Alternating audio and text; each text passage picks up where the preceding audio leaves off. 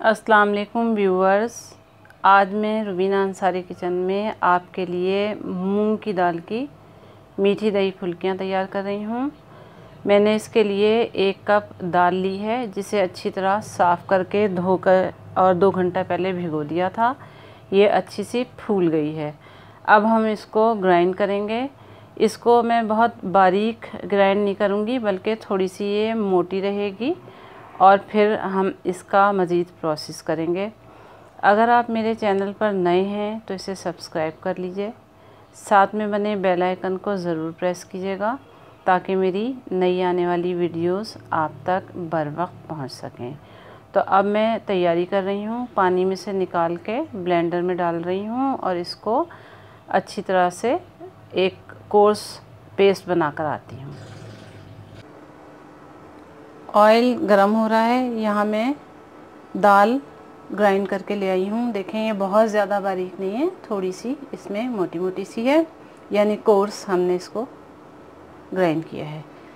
एक टीस्पून मैंने अजवाइन का लिया है और क्वार्टर टी स्पून मैंने लिया है खाने का सोडा।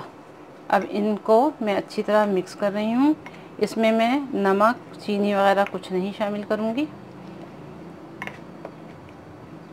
वो दही में चीनी मिक्स होगी। ये मैं फ्राई कर लूँ तो इसके बाद फिर मैं दही तैयार करूँगी। यहाँ मैंने साइड में एक बाउल में पानी लिया है। ये थोड़ा सा गरम किया था मैंने, नीम गरम पानी है।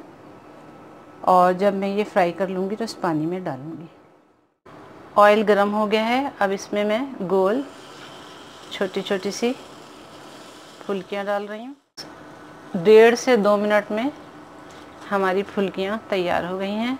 अब मैं इन्हें पानी में डाल रही हूँ। और थोड़ी देर के लिए ये पानी में पड़ी रहेंगी।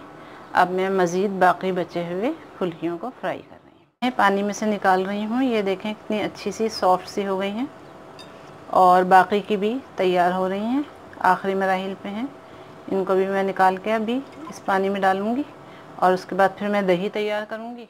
मैंने सौ ग्राम दही लिया है। इसमें मैं दो टेबल स्पून शुगर शामिल कर रही हूँ। दही बहुत अच्छी तरह फिट गया है। दही काफ़ी गाढ़ा है। मैं इसमें ये क्वार्टर कप दूध शामिल कर रही हूँ।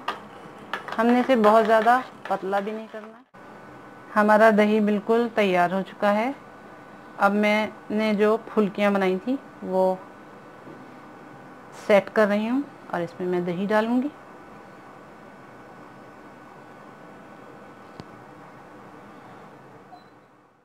ये आपकी मीठी दही फुल्कियाँ तैयार हैं। इस पे मैंने चाट मसाला छिड़क दिया है और इमली की मीठी चटनी डाल रही हूँ। इसे खाइए इंजॉय कीजिए। अगर आपको पसंद आए तो इन्हें लाइक ज़रूर कीजिएगा और शेयर भी कीजिएगा। मिलते हैं एक नई रेसिपी के साथ। अस्सलाम वालेकुम और अल्लाह हाफिज़।